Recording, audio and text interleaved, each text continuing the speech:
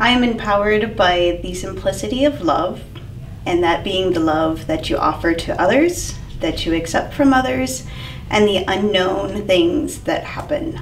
The moments the sun touches your face just because, the glistening of the water, and the way that you tend to dance across it, even in the unknown moments. That is my empowerment.